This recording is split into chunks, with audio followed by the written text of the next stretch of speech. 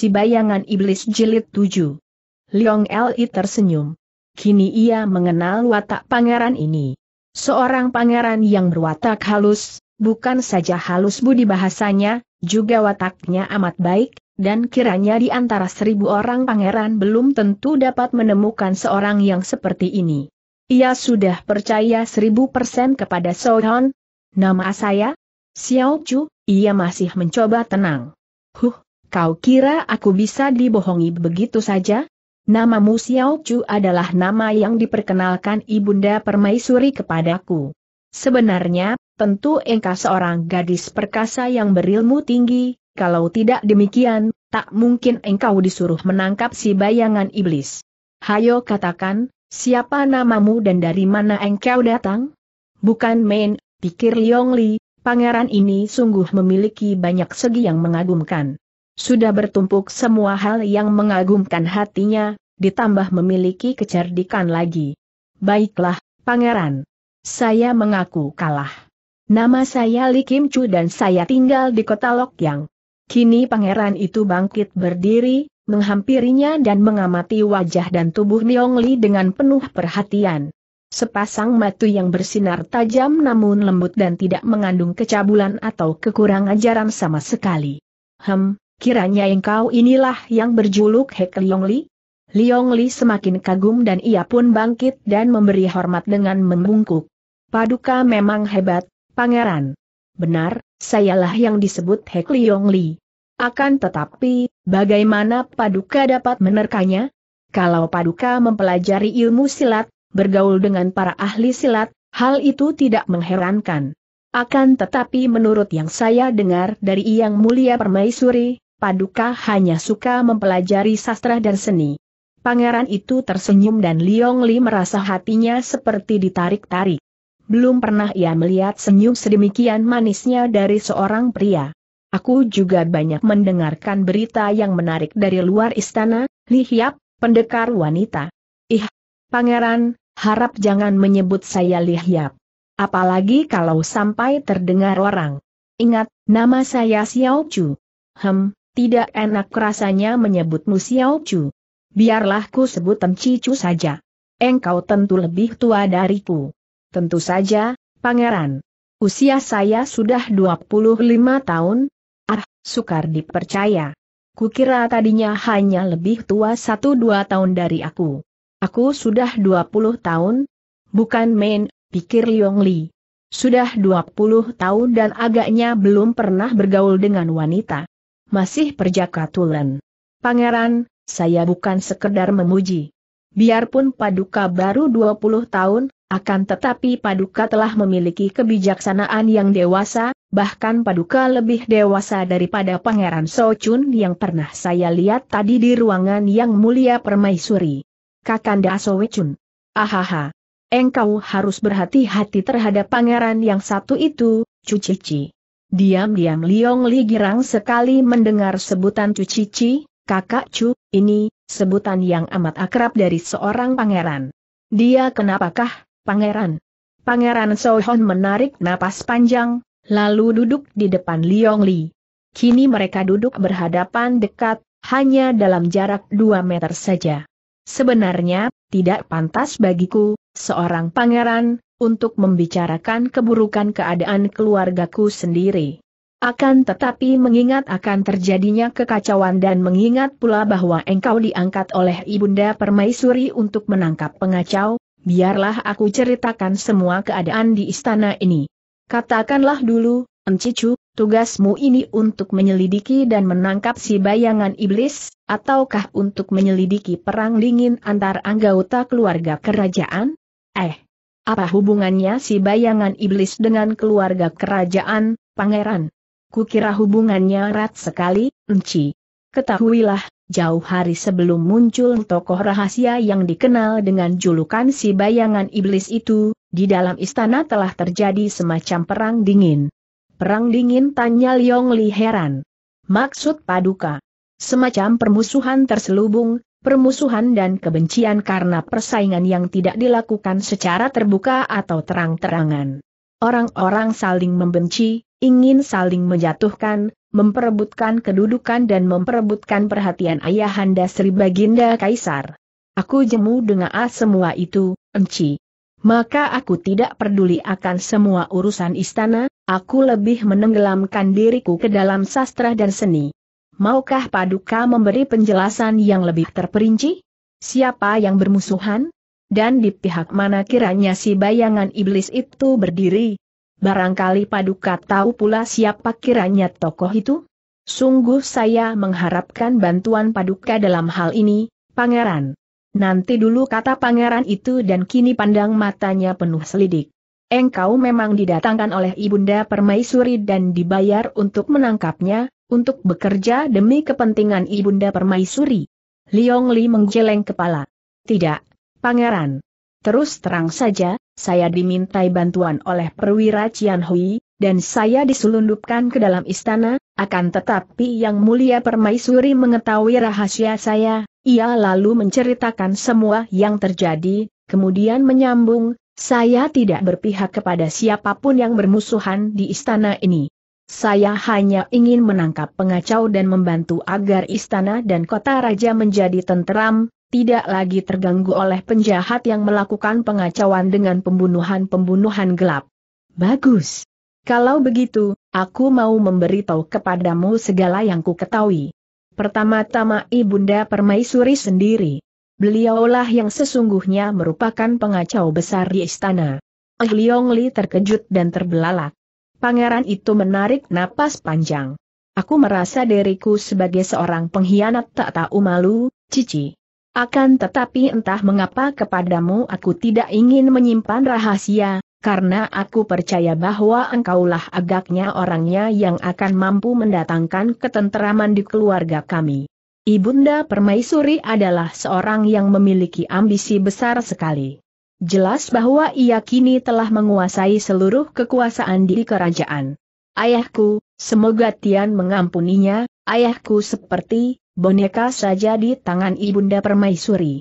Memang harus kuakui bahwa beliau amat pandai, akan tetapi, kadang-kadang beliau dapat bersikap tegas dan bahkan kejam terhadap siapa saja yang dianggap menjadi penghalang ambisinya. Beliau juga mempunyai pasukan pengawal khusus, mempunyai jagoan-jagoan. Saya tahu bahwa Bicu dan Bihwa, gadis kembar yang menjadi pengawal pribadi beliau itu, adalah dua orang wanita yang lihai. Mereka hanya dua di antaranya. Masih banyak lagi dan siapa saja yang dianggap berbahaya oleh Ibunda Permaisuri, jangan harap dapat hidup. Selain itu, ah, bagaimana, ya, Rasanya aku membongkar rahasia busuk di dalam keluarga sendiri. Liong Li adalah seorang wanita yang cerdik bukan main. Ketika Pangeran Soken muncul pagi itu, ia sudah menduga bahwa ada rahasia busuk pada diri permaisuri yang agaknya diketahui bahkan disindirkan oleh pangeran itu. Kini, Pangeran Sohon juga membayangkan adanya rahasia busuk dan pangeran ini merasa ragu untuk menceritakan kepadanya memang bukan urusannya, akan tetapi siapa tahu bahwa hal itu ada sangkut pautnya dengan si bayangan iblis. Kalau mungkin, ia ingin mengetahui semua rahasia agar memudahkan ia melakukan penyelidikan terhadap si bayangan iblis. Pangeran, kalau memang Paduka merasa keberatan, lebih baik jangan diceritakan kepada saya. Apakah itu menyangkut penyelundupan pemuda tampan yang secara diam-diam diselundupkan ke istana bagian putri? Pangeran itu membelalakan matanya, kau, kau, sudah tahu. Liong Li tersenyum. Saya hanya menduga saja, Pangeran. Pangeran Sohon menghela napas. Sudahlah, engkau sudah tahu. Memang itulah kelemahan Ibunda Permaisuri. Beliau, ah, bagaimana, ya, sungguh memalukan beliau suka kepada pemuda-pemuda tampan. Akan tetapi sudahlah, itu urusan pribadinya, kita tidak perlu membicarakan hal itu. Hanya ia amat berambisi dan akan menempuh care apa pun saja untuk melenyapkan mereka yang dianggap menentang kekuasaannya. Tapi, Pangeran, dari Cian Ciang Kun saya mendengar bahwa korban pembunuhan rahasia yang dilakukan si bayangan iblis terdapat pula orang-orang yang dekat dengan Sri Baginda Kaisar, dekat dengan Yang Mulia Permaisuri. Bahkan ada pula korban yang menentang beliau, sungguh membingungkan. Itulah. Tadinya, ketika jatuh korban mereka yang menentang Ibunda Permaisuri, aku sendiri mencurigai Ibunda Permaisuri. Akan tetapi setelah jatuh korban lain yang dekat dengan beliau, aku menjadi bingung dan ragu. Memang sungguh aneh dan memang sebaiknya kalau engkau dapat membongkar rahasia ini, Encicu. Apakah selain yang mulia permaisuri masih ada lagi orang lain yang kiranya patut dicurigai? Air, banyak permusuhan di sini. Di antara para pangeran juga banyak yang bersaingan memperebutkan perhatian ayahanda kaisar. Aku muak sekali, dan aku tidak sudi. Aku tidak membutuhkan kedudukan. Bagaimana dengan Pangeran Sowechun? Dia? Ah, dia pun agaknya tidak peduli akan kedudukan dan kekuasaan. Baginya, asal dia dapat hidup senang, berfoya-foya, mengumpulkan selir sebanyaknya, berganti-ganti selir, berpesta setiap hari. Dia seorang yang genit, mana dia mampu memikirkan urusan negara. Tapi, bukankah dia seorang pangeran yang pandai ilmu silat? Kakanda Sowechun. Aha, dia hanya suka pelesir, mana mampu ilmu silat. Setauku, dia tidak pernah berlatih atau belajar ilmu silat. Diam-diam Liong Li merasa heran. Ketika pangeran itu memegang dagunya, ia merasakan benar adanya kekuatan yang terkandung dalam jari-jari tangan itu. Kalau begitu, dia lebih suka mempelajari sastra seperti paduka. Huh, dia hanya belajar asal bisa baca huruf saja. Gurunya pun kulihat brengsek. Sastrawan macam apa itu yang disebut, Bo Seng? Mungkin baru dapat menulis beberapa ribu macam huruf saja, lagaknya seperti seorang maha guru, akan tetapi tata susilanya demikian kasar. Tidak encicuk kurasa Pangeran Chun boleh kau lewatkan dari perhatianmu. Dia memang menjemukan, akan tetapi penyakitnya, hanyalah metu keranjang dan berfoya-foya saja sukar menghubungkan dia dengan urusan si bayangan iblis. Kalau dia tidak dapat dicurigai, lalu siapakah kiranya yang patut saya selidiki, pangeran? Pangeran itu menarik napas panjang dan menggeleng kepalanya. Keluarga kami berada dalam kemelut, encicu. Terlalu ruwet, juga sukar untuk menduga siapa sebetulnya si bayangan iblis. Aku sendiri sudah tidak peduli. Biarkan mereka bersaing, saling memperebutkan kekuasaan dan kedudukan, aku tidak butuh. Ah, benar, engkau bertugas menyelidiki hal itu. Aku tidak dapat menduga siapa penjahat itu, akan tetapi biarlah ku ceritakan kepadamu semua keadaan keluarga kami dengan semua rahasianya yang kotor. Dengan perlahan dan sikap masih tenang sekali, Pangeran Sohon lalu menceritakan keadaan keluarga ayahnya, yaitu Kaisar Teng Kao Chung yang mempunyai banyak selir di samping permaisurinya, yaitu permaisuri Bucek Tian. Banyak hal-hal yang tadinya amat rahasia, oleh pangeran itu diceritakan kepada Liong Li, rahasia yang amat mengejutkan hati pendekar wanita itu. Kiranya keadaan keluarga kerajaan itu sungguh dipenuhi dengan persaingan yang kotor, kebencian dan iri hati. Bahkan ada fitnah memfitnah, bunuh-membunuh dengan menggunakan pembunuh bayaran. Banyak pula gadis-gadis yang menjadi korban kejalangan nafsu para pangeran yang tidak menghendaki keturunan dari para dayang dan selir sehingga kalau ada selir atau dayang yang mengandung, maka wanita itu akan lenyap tanpa ketahuan jejaknya.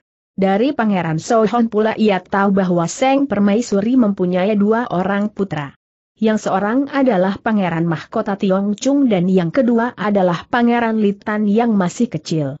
Secara halus Pangeran Sohon menyindirkan keraguannya bahwa Pangeran Litan adalah putra ayahnya. Karena sudah lama sekali ayahnya jarang bermalam di kamar permaisuri. Juga dia mencela sikap para pangeran yang kebanyakan memiliki watak yang amat buruk, menjadi hamba nafsu yang kerjanya setiap hari hanya mengejar kesenangan. Biarpun dengan perasaan malu, terpaksa aku harus mengakui bahwa saudara-saudaraku itu sebagian banyak hanyalah manusia-manusia yang tiada gunanya. Aih, mengapa paduka demikian pahit, pangeran? Banyak rakyat yang menghormati keluarga Sri Baginda Kaisar, sebagai para bangsawan agung, dan banyak pula yang bermurah hati memberi derma kepada kuil-kuil, kepada para miskin dalam jumlah besar. Liong Li sengaja memancing dengan memuji atau menyatakan kebalikan dari apa yang diceritakan pangeran itu. Akan tetapi ucapan ini bahkan membuat pangeran Sohon nampak penasaran. Palsu. Semua itu palsu. Keagungan, kemuliaan dan kehormatan dapat dibeli. Kau bilang sokongan dan dermaan itu tanda murah hati. Hem, Encicu. Kalau engkau memiliki satu juta lalu kau dermakan yang seribu, Apakah artinya itu? Murah hatikah itu? Aku akan jauh lebih menghargai seseorang yang memiliki 20 akan tetapi dengan rela memberikan yang 10 kepada orang lain untuk menolongnya. Mereka itu pura-pura, munafik, bangsawan pakaian saja. Diam-diam Liong Li menjadi semakin bingung mendengar semua keterangan pangeran itu kepadanya. Ia hanya merasa terharu bahwa pangeran itu sungguh percaya kepadanya sehingga membongkar semua rahasia kebusukan keluarga istana yang sebelumnya tak pernah disangkanya. Akan tetapi, semua keterangan itu sama sekali tidak membantunya dalam penyelidikannya tentang si bayangan iblis. Bahkan makin mengacaukan, karena kalau mendengar keterangan itu, boleh dibilang semua pangeran, semua selir, bahkan permaisuri sendiri dan kaisar sendiri bisa saja dicurigai sebagai majikan dari si bayangan iblis. Biarlah, ia tidak akan memusingkan semua itu. Yang dicarinya adalah si bayangan iblis, dan ia merasa yakin akan dapat menangkapnya kalau benar penjahat itu bersembunyi di istana. Setiap malam ia akan melakukan pengintaian dan sekali penjahat itu keluar dari tempat persembunyiannya, tentu akan dapat ditangkapnya. Terima kasih atas semua keterangan paduka pangeran. Mulai malam ini saya akan menyelinap keluar dari dalam kamar ini dan melakukan pengintaian. Mudah-mudahan saja malam ini juga si bayangan iblis keluar sehingga dapat kutangkap dia. Mudah-mudahan begitulah, Encicu. Akan tetapi harap engkau berhati-hati, karena menurut pendapatku, seorang yang telah dapat menggegerkan kota raja dengan semua pembunuhan itu, pastilah orang yang memiliki ilmu kepandaian tinggi dan berbahaya sekali. Terima kasih, Pangeran. Tentu saja saya akan berhati-hati sekali, terutama tidak akan melibatkan paduka. Pangeran itu menghela napas panjang, lalu bangkit dari duduknya. Siang ini engkau boleh mengasuh dan tidur di pembaringan itu. Waktu makan nanti, dayang kepercayaanku akan mengantarkan makanan ke dalam kamar. Aku ingin membaca kitab, dia pun melangkah menghampiri almari yang penuh kitab dan memilih-milih. Liong Li juga bangkit dari tempat duduknya. Tentu saja tidak mungkin baginya untuk enak-enak tidur begitu saja di pembaringan orang, apalagi pangeran pemilik kamar itu berada di situ, walaupun ia tahu bahwa pangeran itu tidak akan mengganggunya, bahkan mungkin sekali tidak akan pernah mau meliriknya. Menyakitkan hati sekali sikap acuh itu. Ia lalu melihat sebuah yang kim, semacam gitar, tergantung di dinding. Diambilnya yang kim itu dan ia pun duduk di atas bangku lain dicobanya alat musik itu dengan jari-jari tangannya yang mungil dan terlatih. Tali temali yang kim itu sudah disetel dengan baik dan suaranya sungguh merdu. Sebuah alat musik yang amat baik buatannya. Dalam keadaan melamun, seperti tanpa disengaja, dengan sendirinya jari-jari tangannya memainkan sebuah lagu. Lagu yang dimainkannya itu sebuah lagu yang amat sukar, juga amat indah, namanya lagu itu Badai. Dawai, senar, yang Kim itu berkentang-kenting, mula-mula membentuk serangkaian nada-nada yang indah, namun makin lama menjadi semakin nyaring, cepat, makin mendesak-desak, nadanya naik turun dan mengamuk bagaikan datangnya badai yang semakin mendahsyat.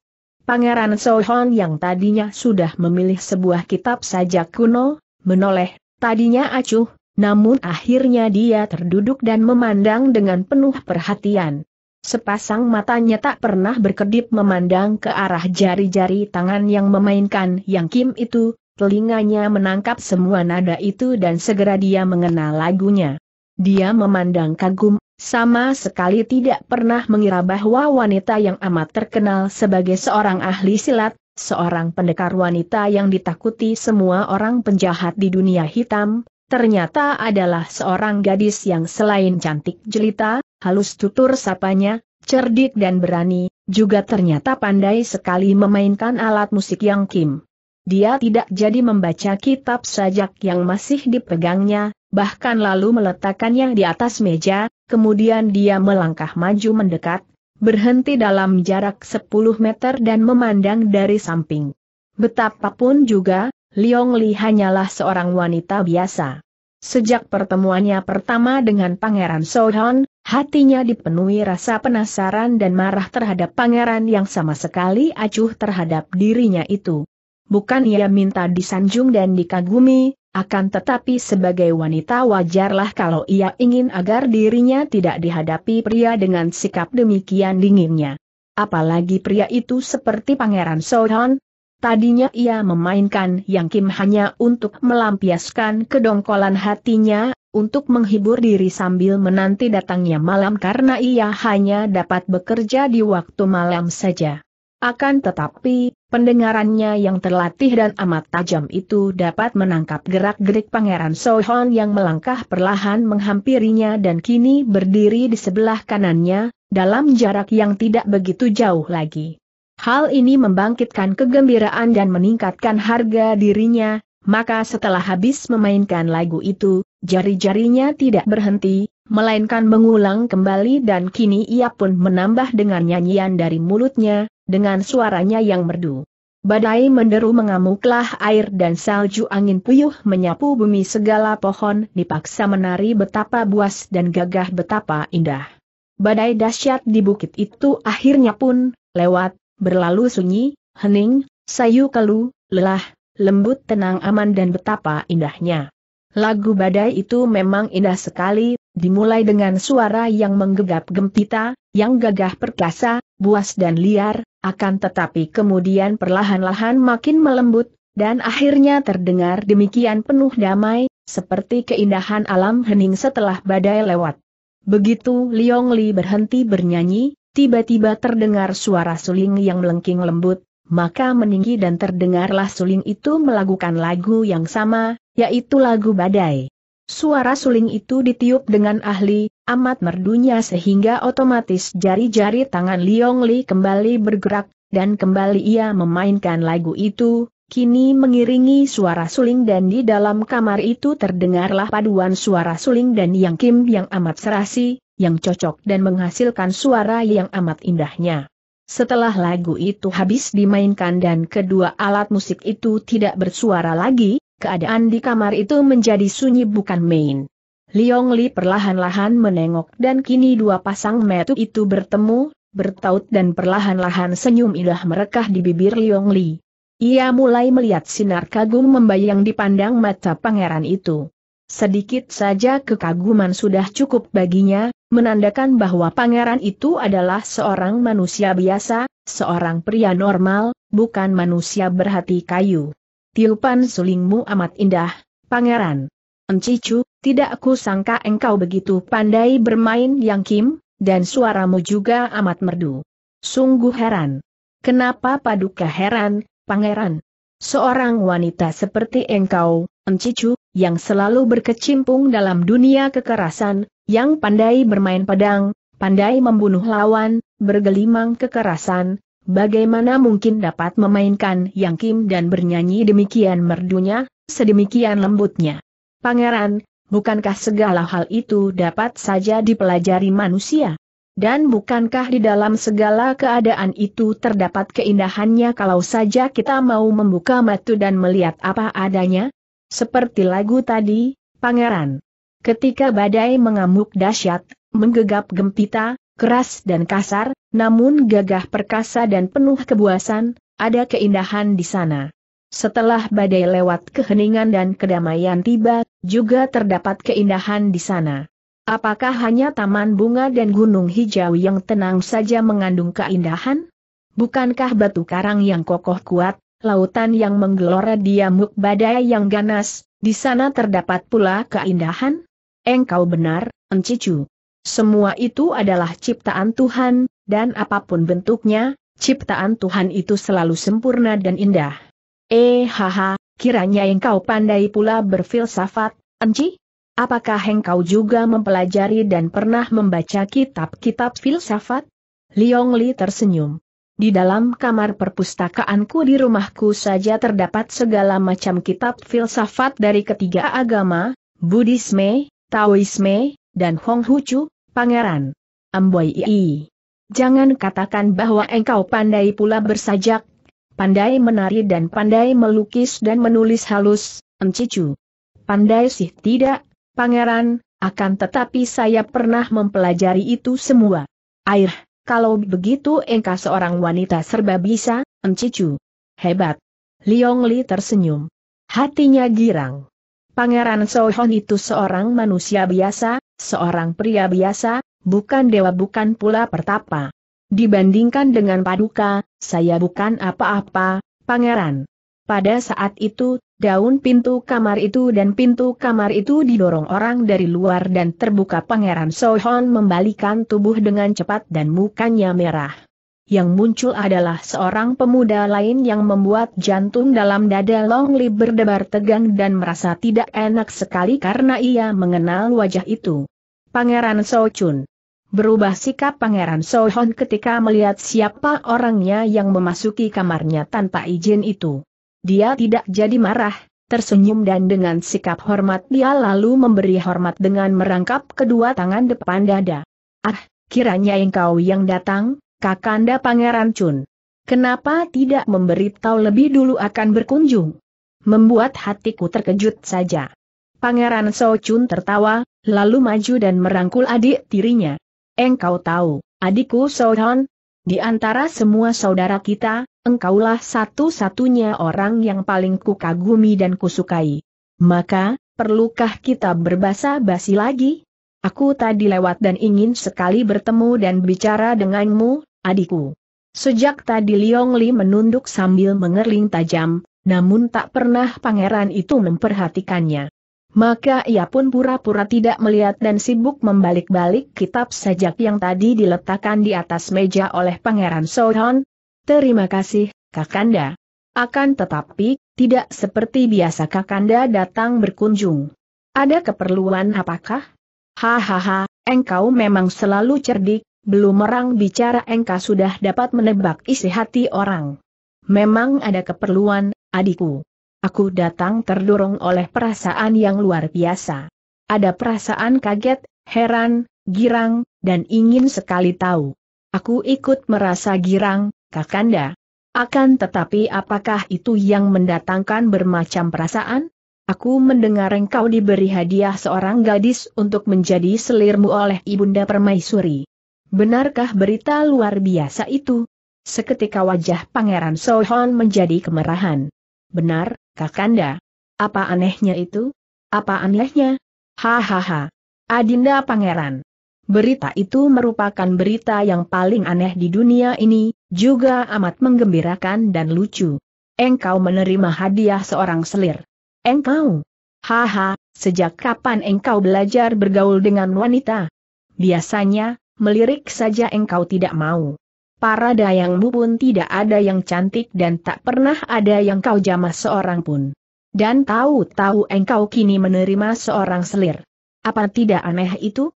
Aku kaget, heran dan juga girang, akan tetapi menjadi penasaran dan ingin sekali melihat seperti apa macamnya wanita yang berhasil menjatuhkan hati adikku yang terkenal sebagai seorang pertapa suci yang tak pernah tergiur kecantikan wanita itu. Dan ketika aku lewat tadi, aku mendengar permainan suling, yang kim dan nyanyian. Aih aih, jadi engkau malah sudah rukun dan bersenang-senang, bermain musik dengan seliurmu. Itukah selirmu yang hebat itu? Dan kini Pangeran Chun menoleh ke arah Liong Li yang masih duduk menghadapi kitab yang dibuka di atas meja. Xiao Chu, ke sinilah dan perkenalkan, ini adalah Kakanda Pangeran Chun. engkau harus memberi hormat kepadanya, kata Hon yang terpaksa memperkenalkan istri atau selirnya itu. Liong Li meninggalkan kursinya dan menghampiri sambil menundukkan mukanya, lalu menjura dengan sikap hormat. Maaf, Pangeran, karena saya tidak tahu maka saya tidak sempat menyambut kunjungan paduka, katanya dengan sikap halus, akan tetapi sama sekali tidak merendahkan diri, dan melihat sikap ini, Pangeran Sohon juga merasa senang. Akan tetapi Pangeran Sochun terbelalak menatap wajah yang cantik jelita itu. Ah ah, kiranya engkau. Bukankah engkau dayang pribadi Ibunda Permaisuri?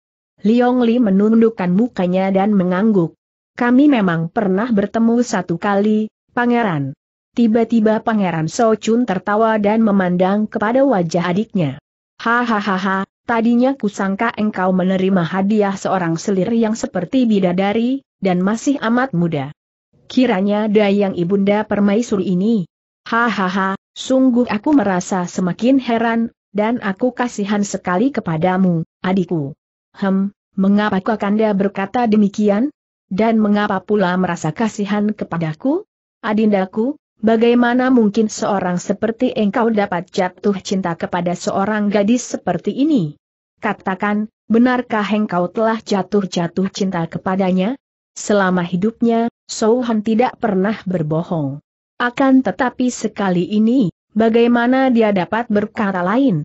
Kalau dia mengatakan bahwa dia tidak mencinta Liong Li, Bukankah hal itu akan menimbulkan suatu kecurigaan dan akan membahayakan rahasia gadis itu?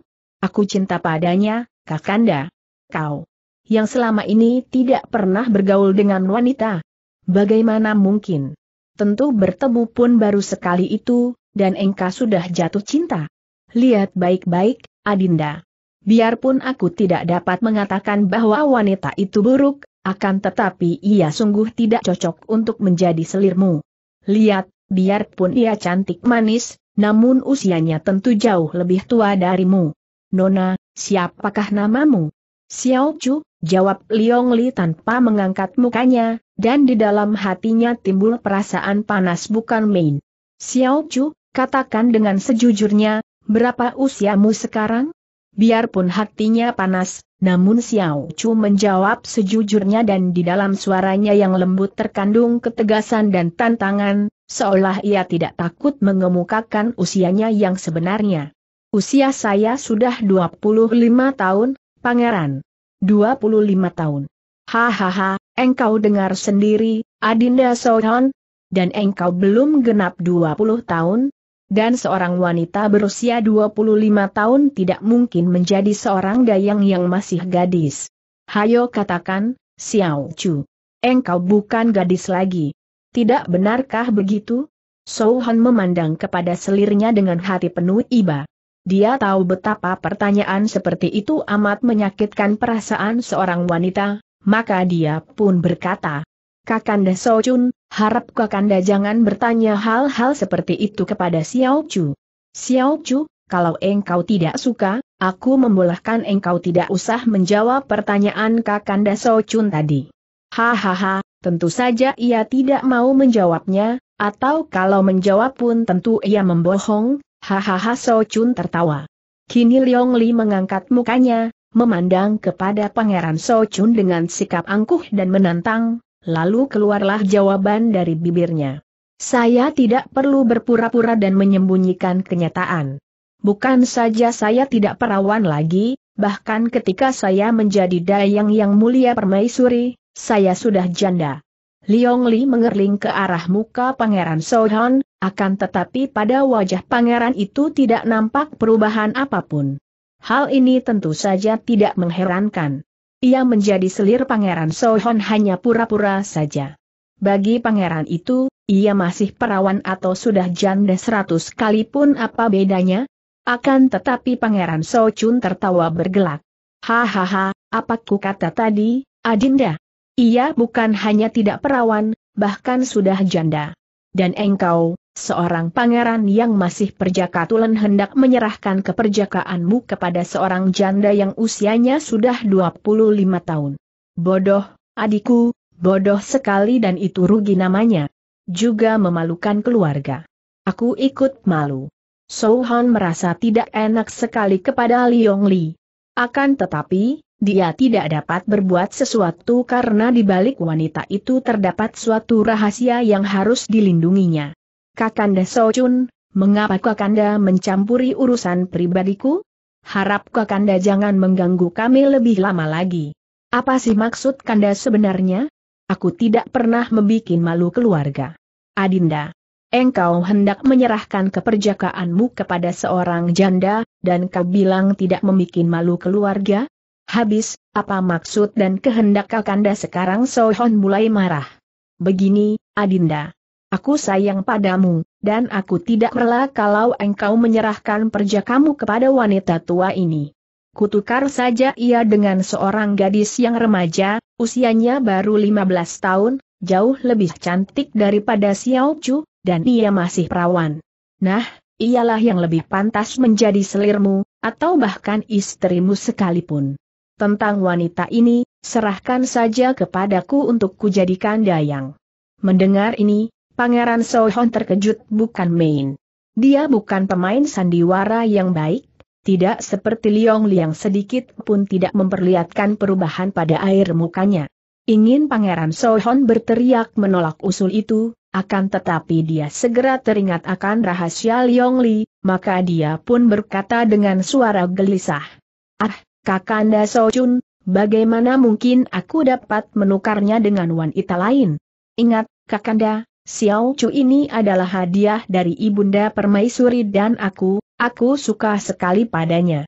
Tiba-tiba Liong Li menjatuhkan diri berlutut di depan Pangeran Sohon sambil menangis, menutupi mukanya dengan ujung lengan bajunya yang lebar panjang dan suaranya terdengar penuh isak ketika ia berkata, Pangeran, hamba, hamba lebih baik mati kalau harus meninggalkan paduka. Diam-diam Pangeran Sohon menjadi semakin kagum. Dia tahu bahwa Liong Li hanya bersandiwara, akan tetapi sandiwara itu dimainkannya dengan demikian cemerlang sehingga dia sendiri pun sedikit juga tidak akan menyangka bahwa wanita itu berpura-pura. Maka, dia pun memandang kepada Pangeran Sochun. Kakanda Pangeran, Kakanda lihat sendiri. Kami sudah saling mencinta. Tidak ada wanita yang dapat menggantikannya. Aku hanya menghendaki Xiao Chu ini, bukan wanita lain. Hem, benarkah itu? Ketika Liong Li mengerling dari sudut matanya yang ia tutupi dengan tangan, ia melihat betapa sinar mata Pangeran So Chun penuh kecurigaan dan selidik. Sungguh seorang pangeran yang berbahaya, pikirnya, dan ia mulai menduga bahwa maksud pangeran itu menghalangi ia diselir Pangeran So Hon bukan semata karena cemburu atau iri, bukan semata karena pangeran itu sendiri menginginkan dirinya. Mungkin ada alasan lain, yaitu mencurigainya. Ah, jangan-jangan engkau kena dipengaruhi guna-guna adikku. Tidak, Kakanda. Aku memang cinta padanya, bukan hanya karena wajahnya, melainkan karena sikapnya, juga ia pandai bermain yang kim, pandai bernyanyi dan mungkin masih memiliki beberapa macam kepandaian lagi yang belum ku ketahui. Tentang usia dan tentang bukan perawan, aku tidak peduli. Hem, banyak kepandaiannya, ya? Eh, Xiao Chu, apakah engkau juga pandai ilmu silat? Ah, kakanda seru Pangeran Sohon, terkejut dan kekagetannya ini memang bukan pura-pura. Bagaimana seorang wanita lembut seperti Xiao Chu ini pandai ilmu silat? Kalau menari mungkin ia dapat. Bukankah begitu, Xiao Chu? Liong Li yang sudah menghapus air matanya kini memandang kepada Pangeran Sohon dengan sinar mata yang jelas membayangkan kasih sayang besar. Kalau untuk paduka, apa pun akan hamba lakukan, Pangeran. Hamba pernah mempelajari ilmu menari. Tarian pedang tiba-tiba Pangeran Chun bertanya. Ah, bukan, Pangeran. Tarian biasa, jawab Xiao Chu atau Liong Li tanpa berani mengangkat mukanya. Bagus, kalau begitu, suruh ia menari agar dapatku melihatnya, Adinda Sohon. Pangeran Sohon mengerutkan alisnya. Dia ingin agar kakaknya itu cepat pergi saja supaya tidak mengganggu Liong Li lebih lama lagi. Pula, dia pun tidak yakin apakah benar Liong Li pandai menari, dan jangan-jangan gerak tarinya akan mengandung gerak silat sehingga akan menimbulkan kecurigaan pada kakaknya. Kakanda, ia baru saja datang, masih lelah. Biarlah lain hari saja ia menari. Tidak mengapa, pangeran. Hamba pun senang sekali kalau Paduka menggembirakan hati saudara tua Paduka, kata Liong Li. Ucapan ini saja sudah cukup melegakan hati Pangeran Sohon. Baiklah kalau begitu. Aku akan mengiringi tarianmu dengan Yang Kim. Engkau tentu mau meniup sulingnya, bukan, Kakanda? Baik, tapi, tarian apa yang akan ditarikan selirmu itu? Hamba akan menarikan tarian rakyat dari daerah selatan, tarian para petani bekerja di sawah ladang, kata Liong Li. Tak lama kemudian, terdengarlah paduan suara suling dan Yang Kim, dengan irama yang lambat dan halus. Liong Li sudah mengambil sebuah sabuk sutra merah panjang dari amari pakaian atas petunjuk Pangeran Sohon dan ia pun mulailah menari, seirama suara suling dan Yang Kim. Dan kini kedua orang pangeran itu terpesona. Jangan So Chun yang penuh curiga itu, bahkan Sohon yang sudah tahu bahwa selirnya itu seorang pendekar wanita, Terbelalak kagum melihat betapa tubuh wanita itu meliuk-liuk lemah gemulai, menarik dengan amat indahnya. Bagaikan seorang bidadari saja selirnya itu. Setelah selesai menari dan dua orang pangeran itu menghentikan permainan alat musik mereka, Pangeran So Chun bertepuk tangan memuji. Wah, sekarang aku mengerti mengapa engkau suka kepada selirmu ini, Adinda. Ternyata suaranya merdu, permainan yang kinnya pandai, dan tariannya pun indah. Dan tubuhnya itu. Amboy, betapa akan nikmatnya malam nanti akan kau rasakan dalam pelukannya, adindaku. Kakanda. Harap jangan ganggu kami lagi dan ku persilakan Kakanda meninggalkan kami Pangeran Sohon berseru marah. Akan tetapi kakaknya hanya tertawa bergelak. Hahaha, hampir aku lupa. Engkau belum pernah bergaul dengan wanita, tentu ia akan mengajarimu, atau kalau engkau memang tidak suka, biarlah kalau malam ia bersamaku, kalau siang ia bersamamu. Dan engkau pun boleh minta tukar untuk malam ini dengan beberapa saja selirku. Boleh kau pilih dan berapa banyaknya pun boleh untuk ditukar dengan ia. Kakanda, pergilah. Keluar dari sini Pangeran Sohon berteriak dan Pangeran Sochun tertawa, akan tetapi meninggalkan kamar itu dengan langkah tenang dan berlenggang penuh gaya. Setelah pangeran itu pergi, Pangeran Sohon menutup pintu kamar, lalu menjatuhkan diri duduk di atas kursi. Dadanya bergelombang, mukanya merah dan napasnya memburu karena dia tadi menahan amarahnya. Sejak tadi Liong Li mengamatinya, dan ia tersenyum lalu menghampiri dan duduk di atas kursi dekat dengan pangeran itu. Sudahlah, pangeran. Penangkan hati paduka. Bahaya telah lewat dan agaknya dia tidak mencurigai kita. Pangeran Sohon mengepal tinju. Akan tetapi penghinaan-penghinaan itu. Terutama sekali kepadamu. Sungguh tidak patut. Liong Li tersenyum. Memang tadi ia pun merasa marah sekali. Pangeran Chun tidak pantas menjadi pangeran, pantasnya menjadi seorang berandal, seorang penjahat yang tidak tahu malu, yang siap menukarkan selir-selirnya dengan selir adiknya, begitu cabul, begitu jorok dan hina. Bagaimanapun juga, Paduka telah berhasil mengusirnya, pangeran, dan kita aman sudah. Saya yakin dia tidak akan berani lagi datang mengganggu. Hem, aku belum begitu yakin. Engkau tidak mengenal siapa Pangeran Chun itu, Encicu. Kalau sudah menginginkan seorang wanita, sebelum berhasil, akan dia lakukan segala daya, segala muslihat untuk mendapatkan wanita itu. Dan dia memiliki tukang-tukang pukul yang lihai. Engkau sekarang harus lebih berhati-hati, Encicu, karena kulihat bahwa Kakanda Chun itu sangat menginginkanmu tadi. Selain si bayangan iblis, engkau akan menghadapi musuh lain, yaitu Kakanda Chun dan kaki tangannya. Liong Li tersenyum. Saya tidak khawatir, Pangeran. Sudah terbiasa saya oleh kepungan orang-orang yang menjadi hamba nafsu iblis, dan selalu saya dapat mengatasi mereka. Mudah-mudahan begitulah.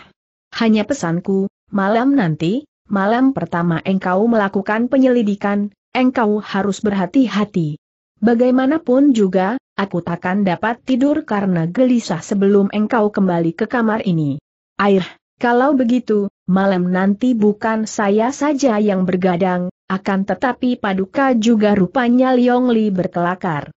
Sebaiknya sekarang Paduka tidur mengasuh agar malam nanti tidak terlalu payah. Dan engkau sendiri? Nanti malam engkau akan melakukan tugas yang amat berat dan berbahaya. Engkaulah yang perlu mengasuh. Liong Li tersenyum. Aku tidak pernah tidur siang, pangeran. Dan untuk memulihkan tenaga dan menguatkan tubuh, cukup dengan sama di beberapa jam saja sambil mengatur pernapasan. Kalau begitu, lakukanlah sama dimu, dan aku akan tiduran sambil membaca kitab. Liong Li tidak sungkan-sungkan lagi, melepaskan sepatunya dan naik ke atas pembaringan, lalu duduk bersila dan mengatur pernapasan. Pangeran Sohon sendiri lalu membawa kitab sajak dan membaca kitab sambil rebahan di atas lantai yang bertilamkan permadani dan ditambah dengan beberapa buah bantal. Mereka hanya berhenti ketika dua orang dayang mengetuk pintu kamar dan mengantar hidangan makan siang. Kemudian mereka melanjutkan kesibukan masing-masing dan sampai hari menjadi malam, sedikit pun juga Seng Pangeran tidak pernah mengganggu Liong Li, baik dengan perbuatan, kata-kata bahkan dengan pandang mata sekalipun.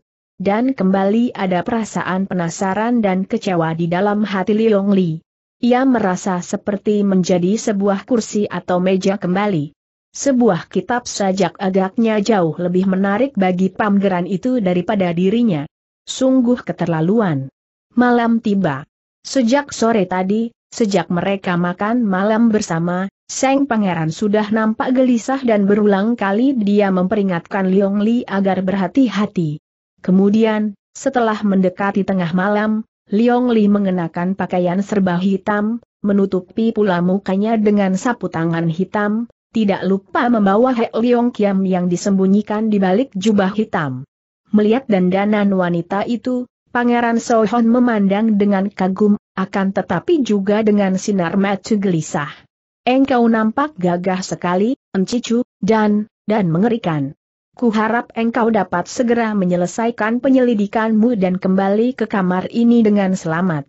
Penangkanlah hati paduka dan tidurlah, pangeran. Paling lambat besok pagi-pagi sebelum matahari terbit saya sudah akan kembali ke sini. Engkau keluar melaksanakan tugas yang berat, menghadapi ancaman bahaya dan aku disuruh tidur enak-enak di sini? Bagaimana mungkin, Ancicu? Akan tetapi, bukankah biasanya setiap malam Paduka juga tidur seorang diri di sini dan tidak pernah gelisah? Ketika itu belum ada engkau di sini Encicu. Sudahlah, harap engkau berhati-hati dan aku ikut mendoakan. Terima kasih, Pangeran. Aku pergi kata Liong Liang sudah membuka daun jendela, dan sekali berkelebat, ia sudah lenyap dari depan pangeran itu, seperti seekor burung terbang saja lewat jendela yang terbuka. Pangeran Sohon terbelalak, sejenak hanya melongo memandang ke arah jendela, lalu menarik napas panjang dan menutupkan kembali daun jendela. Sudah sering dia melihat jagoan-jagoan istana bermain silat dan memamerkan kelihayan mereka, akan tetapi baru sekarang dia melihat ada gadis dapat menghilang begitu saja dari depan matanya. Dengan Gin Kang, ilmu meringankan tubuh, yang sudah mencapai tingkat tinggi sekali, Liong Li melompat keluar jendela dan langsung saja tubuhnya melayang ke atas genteng, begitu kedua kakinya menginjak genteng bangunan, ia mendekam dan sepasang matanya yang tajam menyapu keadaan sekelilingnya.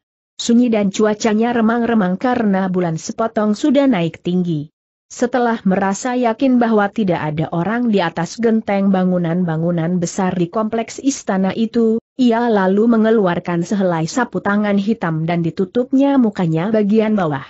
Hanya dahi yang putih halus dan sepasang mata yang tajam mencorong saja yang nampak dan ia sengaja membiarkan sebagian anak rambut menutupi dahi.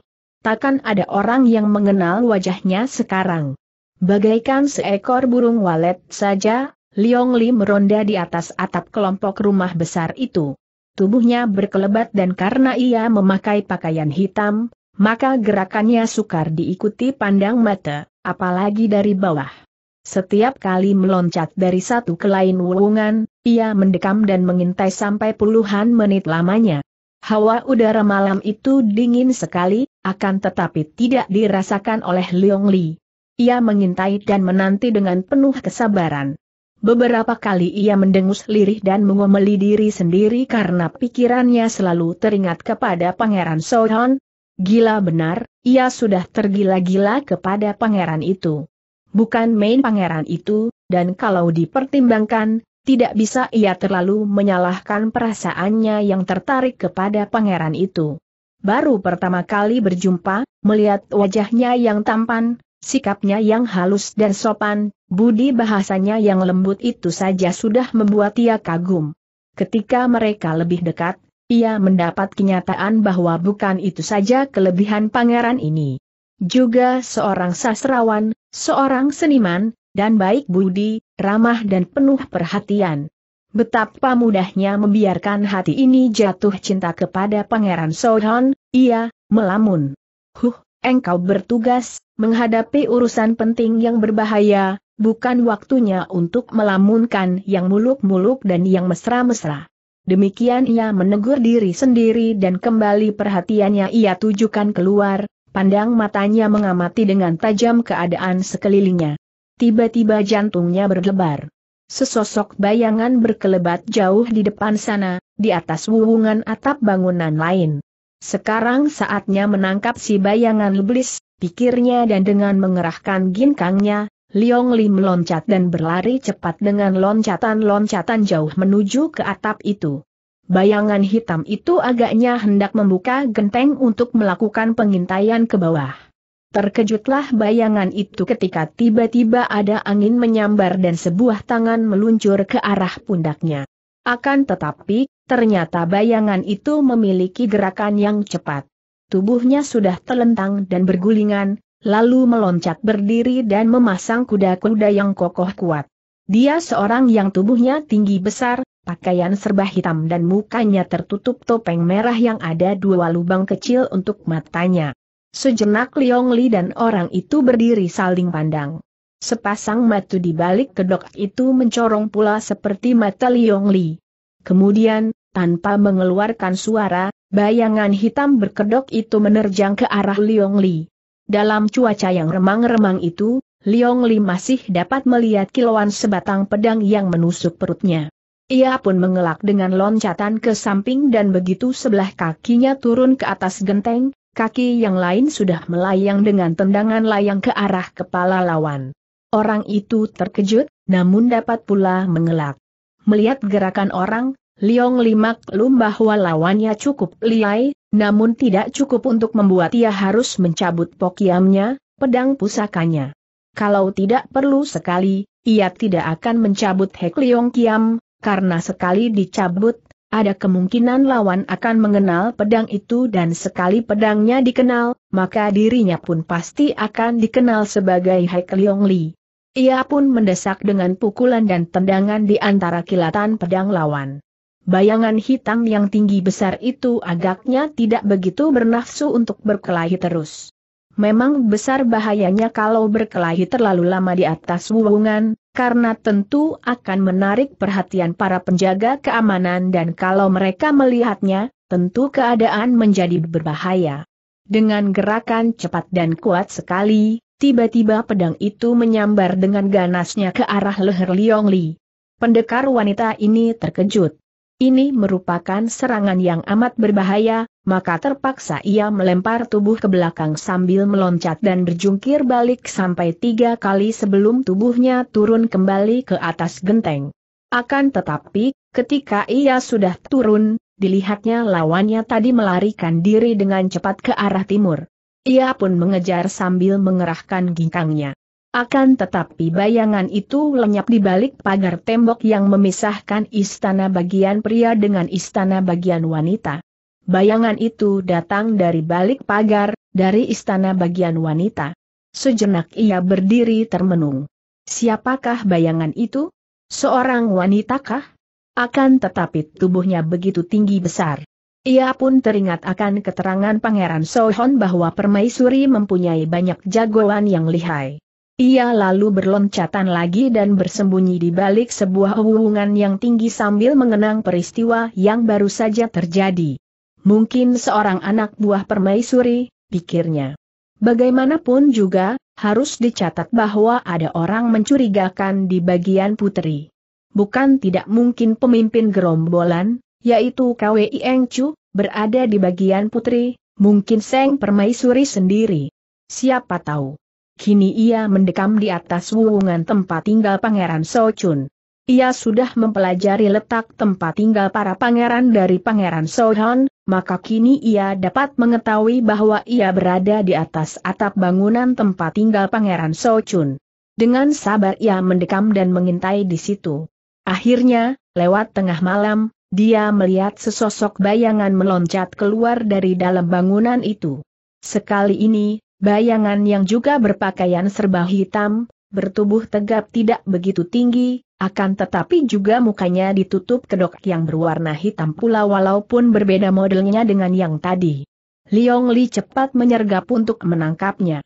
Karena ia muncul dengan tiba-tiba dan penuh perhitungan karena tidak mau gagal lagi, Liong Li berhasil mencengkeram pundak orang itu. Ih Liong Li berseru lirih saking kagetnya ketika jari-jari tangannya bertemu dengan pundak yang keras dan licin seperti besi sehingga cengkeramannya hanya merobek baju dan meleset. Ah orang itu agaknya juga terkejut dan kakinya menendang ke arah perut Liong Li. Namun Liong Li kini mengerahkan tenaga dan sengaja menangkis untuk mengukur tenaga lawan. Duk orang itu kembali mengeluarkan seruan kaget dan tubuhnya terhuyung ke belakang.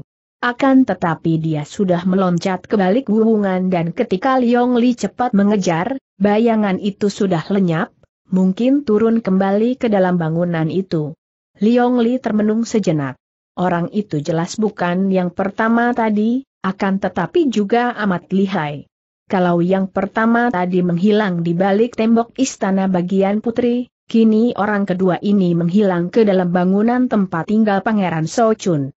Hem, Siapakah di antara mereka itu Kwei Engju? Ataukah hanya anak buah saja?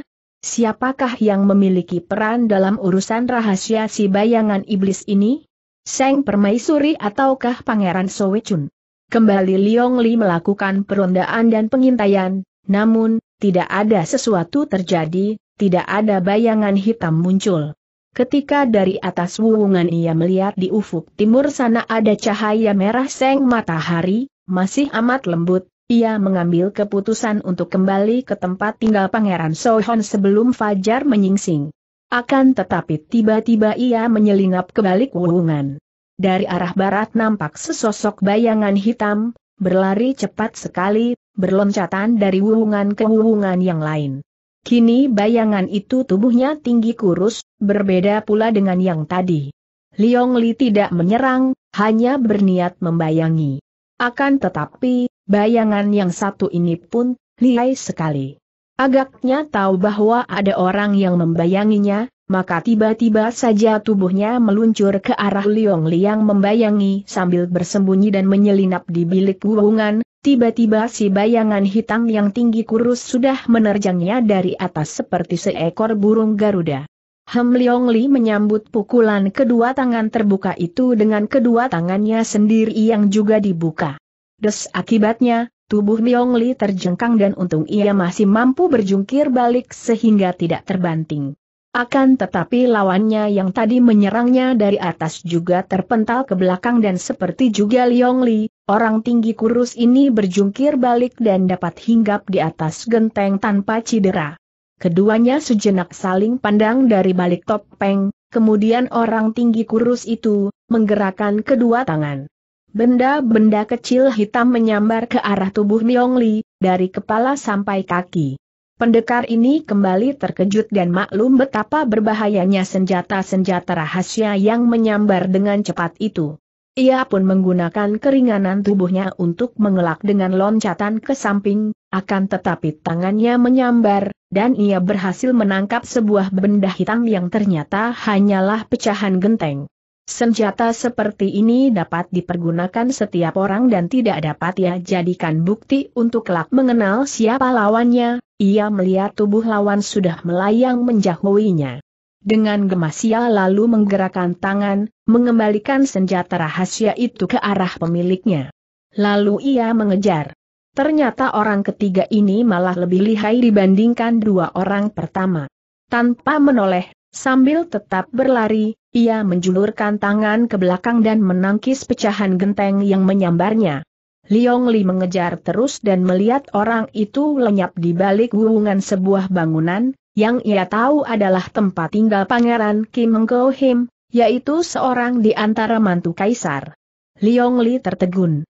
Malam ini ia bertemu tiga orang yang liai dan ia tahu bahwa di istana ini berkeliaran banyak jagoan yang liai, orang-orang berkedok yang penuh rahasia. Akan tetapi ia tidak tahu yang mana si bayangan iblis dan di mana sembunyinya.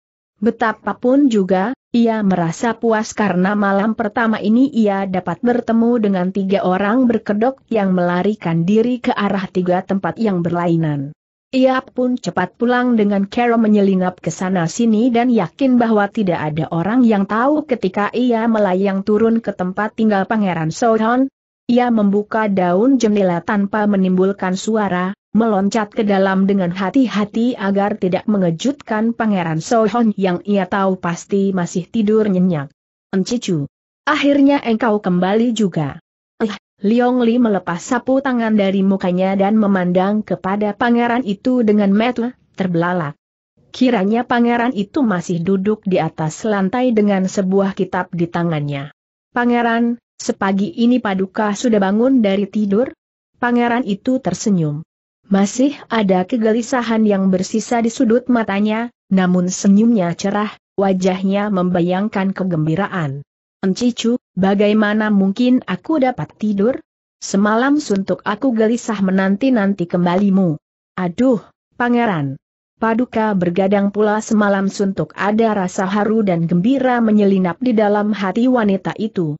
Bagaimana hatinya tidak akan terharu dan bangga, juga gembira melihat kenyataan betapa pangeran yang ganteng ini begitu mengkhawatirkan dirinya sehingga semalam suntuk tidak tidur untuknya dan selalu mengharapkan kembalinya? Ini hanya mempunyai satu arti, yaitu bahwa Pangeran Sohon mencintanya. Pangeran itu agak tersipu. Sudah kuusahakan untuk memejamkan mata, namun sia-sia bahkan membaca pun tidak dapat kucerna, karena pikiran ini selalu membayangkan engkau berada dalam ancaman bahaya besar. Encicu, kini hatiku demikian lega dan aku merasa lelah dan mengantuk sekali. Pangeran, Paduka harus tidur. Kasihan sekali, tidurlah di atas pembaringan itu, Pangeran, dan saya, Liong Li tersenyum dan menghentikan ucapannya, lalu menghampiri pangeran itu telah tertidur. Tertidur dengan tarikan napas yang halus dan mulutnya masih mengembangkan senyum, tangannya masih memegang sebuah kitab. Dengan lembut, Liong Li mengambil kitab yang hampir terlepas di tangan kiri itu, lalu mengambil selimut dari atas pembaringan karena hawa udara yang dingin menembus ke dalam kamar, lalu dengan hati-hati ia menyelimuti tubuh pangeran itu dari kaki sampai ke leher. Melihat betapa pangeran itu tidur pulas sekali, dan kepalanya tidak berbantal, ia lalu mengambil sebuah bantal dari pembaringan, dan dengan hati-hati ia memasukkan lengan kiri ke bawah leher Seng Pangeran, mengangkat kepala itu dan mendorongkan bantal ke bawah kepala. Kepala yang berada di rangkulan lengan kiri itu ketika ia angkat, berada dekat sekali dengan mukanya. Maka pangeran itu nampak demikian tampan, demikian lembut. Perasaan haru dan mesra menyelinap di dalam hati Liong Li membuat ia makin menunduk dan hampir ia mencium pipi atau bibir itu. Akan tetapi, keteguhan hatinya bergerak menolak dan menentang. Ia memejamkan mata, menarik napas panjang. Ia perlahan-lahan menurunkan kepala itu ke atas bantal, lalu cepat-cepat ia bangkit berdiri. Dadanya masih tergetar oleh gairah dan ia cepat melangkah mundur. Ia tidak boleh berada di sini selagi Seng Pangeran tidur, bukan saja ia tidak mau mengganggu pangeran yang kelelahan dan kurang tidur itu, juga ia menganggap terlalu berbahaya. Ia juga takkan dapat beristirahat kalau berada di kamar itu, harus selalu berjuang melawan gairah nafsunya sendiri. Setelah memandang sekali lagi ke arah wajah itu dan tersenyum, dengan pandang mata menjadi lembut mengandung kasih sayang. Liong Li berganti pakaian dan meninggalkan kamar itu, menutupkan pintunya perlahan dan ia pun pergi ke ruangan para dayang. Pagi itu lima orang dayang telah terbangun dan sedang sibuk bekerja. Ada yang menyiapkan sarapan pagi untuk pangeran, ada yang mencuci pakaian, membersihkan lantai, membersihkan semua perabot rumah, menyapu pekarangan dan sebagainya. Melihat Seng Selir Pangeran sudah terbangun sepagi itu, mereka merasa heran, akan tetapi menyambut majikan baru ini dengan hormat dan ramah. Mereka menghaturkan selamat pagi dan menawarkan sarapan pagi, tidak tahu apakah selir pangeran itu akan sarapan pagi bersama pangeran nanti kalau sudah bangun tidur, atau makan pagi sendirian. Aku ingin sarapan di sini saja, beberapa butir telur dan bubur, dan air teh panas. Juga tolong sediakan air hangat, Aku ingin mandi. Pangeran masih tidur, harap jangan membuat gaduh dekat kamar. Liong Li mandi air hangat dan merasa segar kembali walaupun semalam ia tidak tidur sama sekali. Dan sarapan itu membuat kekuatan tubuhnya pulih, akan tetapi sehabis makan, datanglah rasa kantuk.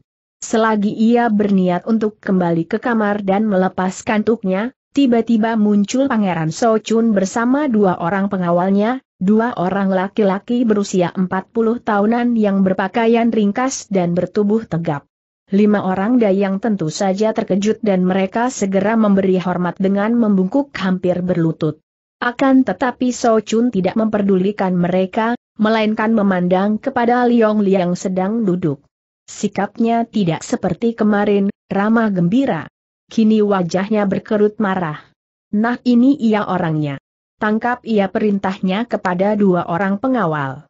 Agaknya ia sudah memberitahu kepada dua orang pengawalnya bahwa yang akan ditangkap adalah seorang wanita yang memiliki kepandaian tinggi, agar mereka berdua berhati-hati. Kini melihat bahwa yang harus mereka tangkap itu seorang wanita yang cantik dan lembut, dua orang pengawal itu saling pandang dan merasa heran. Akan tetapi mereka tidak berani melanggar perintah majikan mereka dan sekali meloncat mereka sudah berada di kanan kiri Liong Li dan sekali menggerakkan tangan mereka sudah menangkap lengan Liong Li. Cengkeraman mereka itu kuat sekali. Kalau Liong Li menghendaki, tentu saja ia akan mampu membela diri, bahkan merobohkan dua orang laki-laki itu, akan tetapi ia tidak berani membocorkan rahasia dirinya, karena hal itu bukan saja akan membahayakan dirinya sendiri, bahkan juga membahayakan Pangeran Sohon. Maka, biarpun cengkeraman itu menyakitkan lengannya, ia tidak mau mengerahkan tenaga Sin Kang dan bahkan merintih kesakitan. Auh, lepaskan, ah, apa kesalahanku, Pangeran? Lepaskan saya. Ketika merasa betapa tangan mereka mencengkeram sebuah lengan yang lunak dan tidak bertenaga, dua orang pengawal itu merasa heran dan tentu saja mereka segera mengendurkan cengkeraman. Mereka adalah jagoan-jagoan, tentu saja merasa malu kalau harus menggunakan kepandaian untuk menghadapi seorang wanita yang lemah. Hem, engkau met-met busuk. Diam kau bentak Pangeran Chun kepada Liong Li, kemudian mengangguk kepada dua orang pengawalnya, bahwa ia. Liong Li meronta dan pura-pura ketakutan, namun dua orang pengawal itu menarik dan setengah menyeretnya pergi dari situ, diikuti oleh Pangeran Chun. Diam-diam Liong Li merasa girang karena ia mengharapkan terbongkarnya rahasia KWI Eng Chu. Apakah Pangeran Congka ini yang memegang peran dalam rahasia si bayangan iblis? Ia tentu akan tahu nanti. Ia tidak khawatir karena kalau tiba saat terakhir, di mana nyawanya terancam, tentu ia akan memberontak dan membela diri.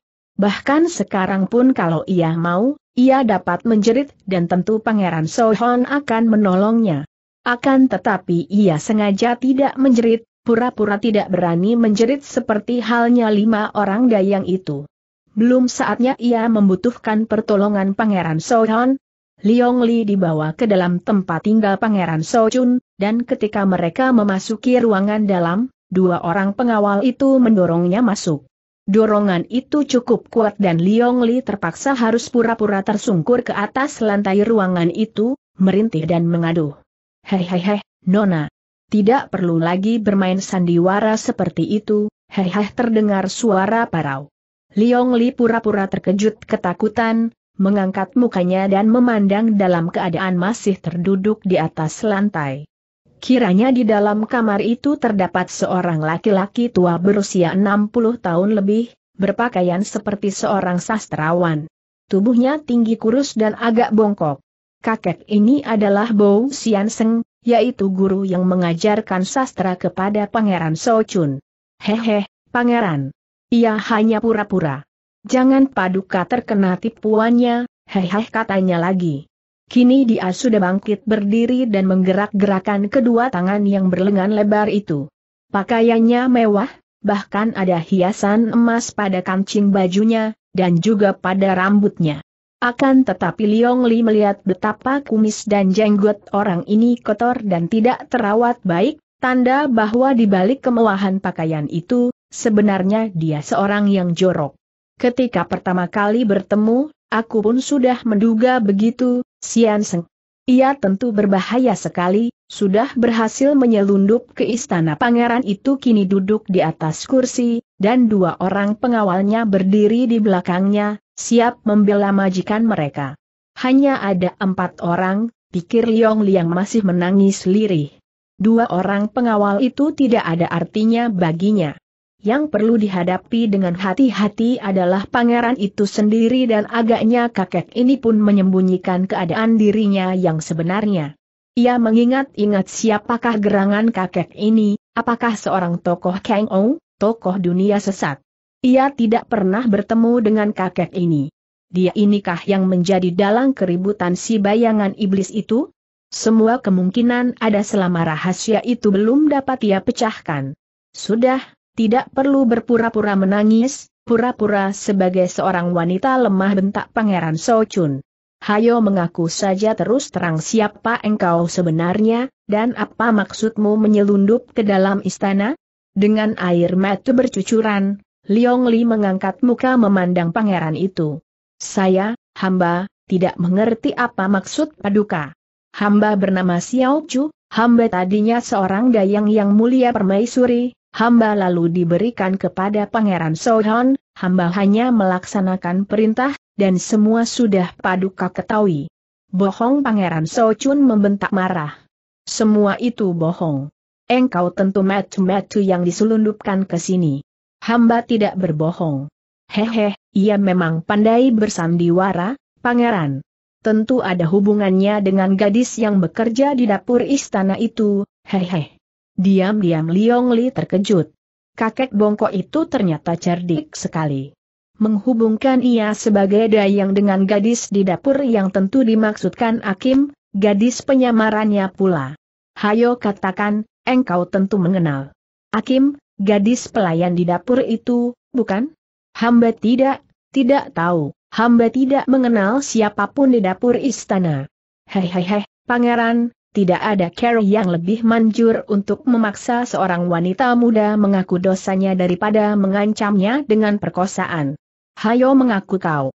Kalau tidak, aku akan menyuruh beberapa orang pengawalku untuk memperkosamu bergiliran bentak pula Pangeran Chun. lalu dia menghampiri Liong Li, tangannya meraih dan mencengkeram baju wanita itu di bagian dada.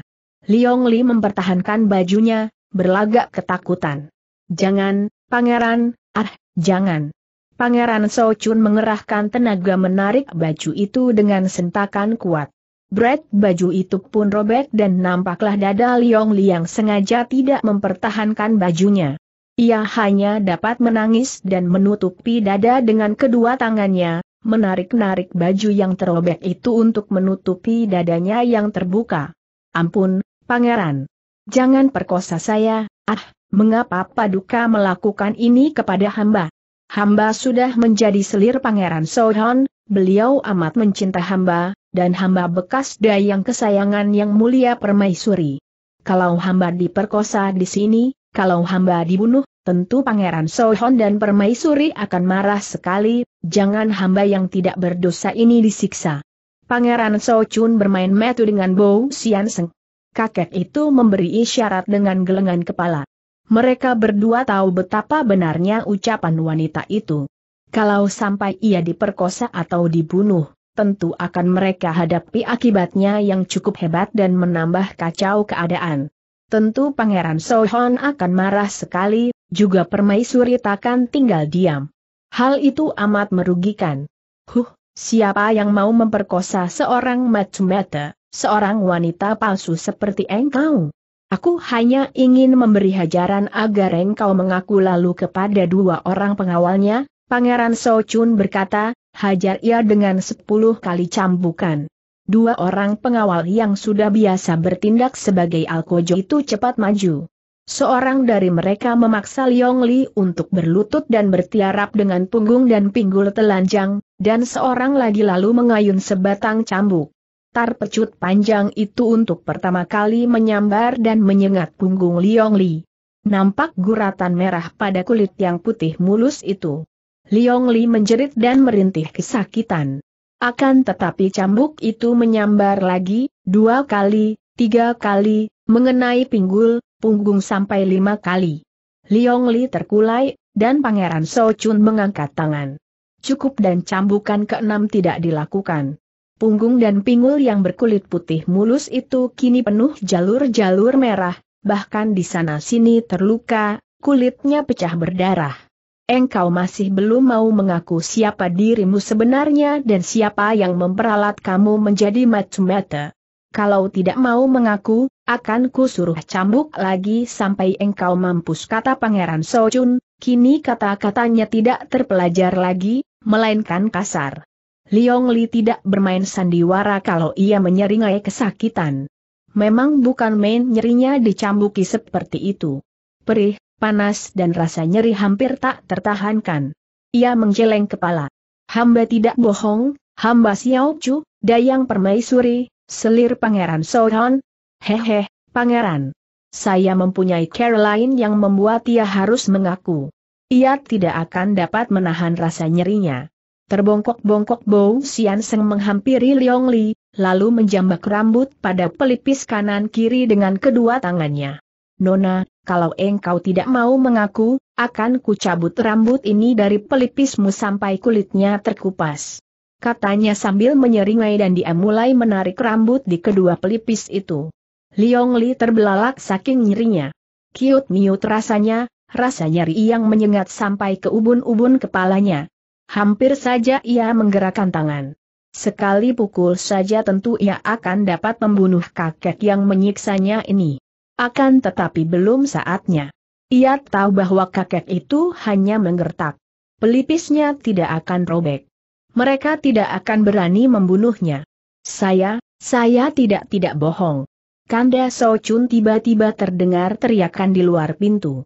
Mendengar ini, Bong Xian Seng cepat melepaskan rambut di kedua pelipis Liong Li dan pendekar wanita ini pun jatuh terkulai, merintih lirih, akan tetapi hatinya lega bukan main mendengar suara Pangeran Sohon di pintu.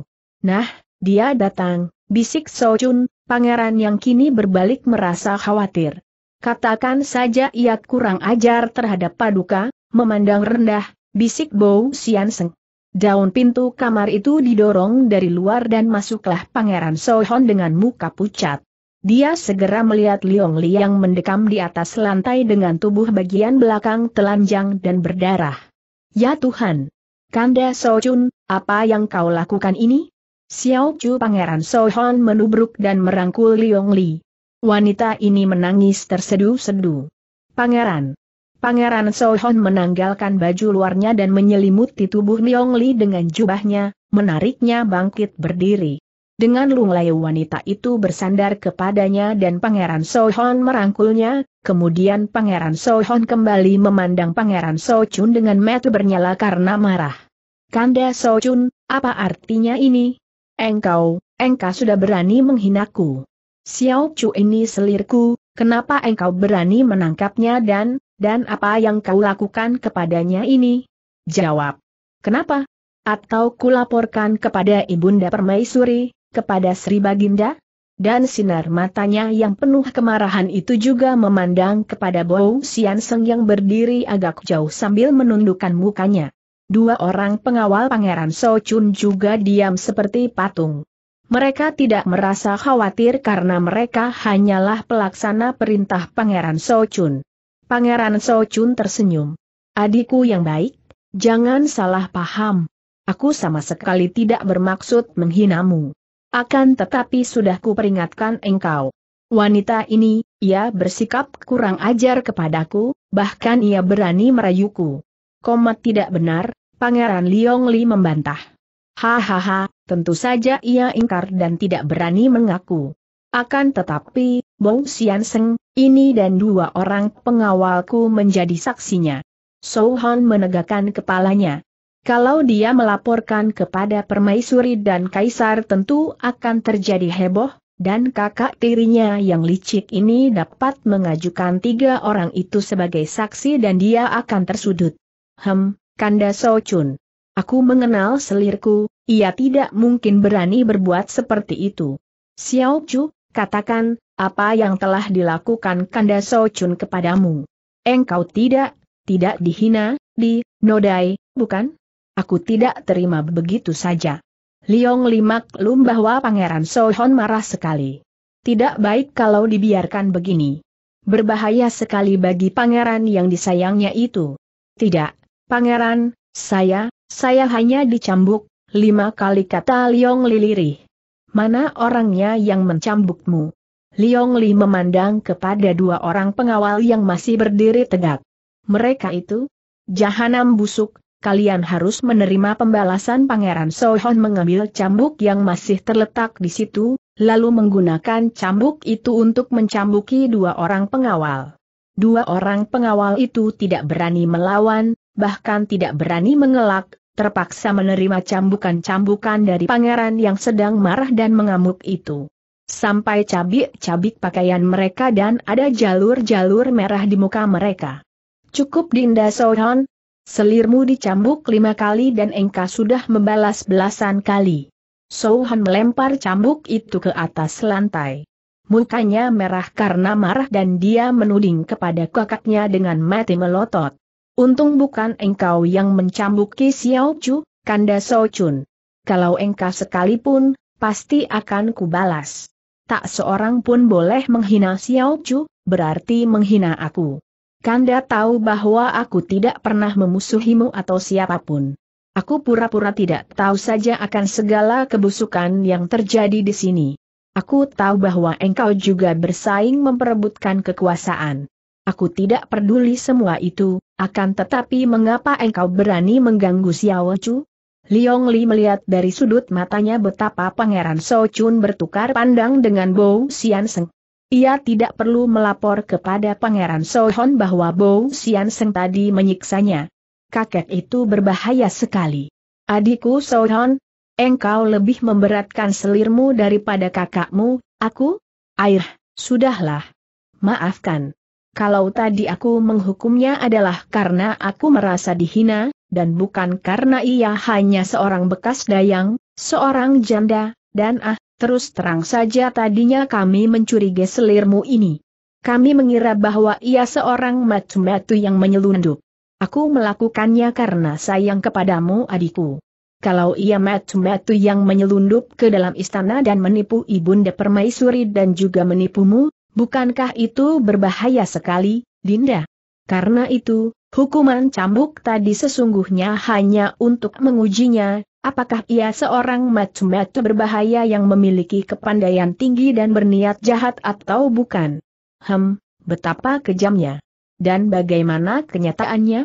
Lihat, punggung selirku luka-luka berdarah. Dan ia sama sekali tidak berdosa. Ia wanita pertama dan satu-satunya yang kucinta, dan engkau menyuruh algojo-algojomu mencambukinya. Sudahlah, Adinda yang baik. Aku sudah minta maaf, bukan?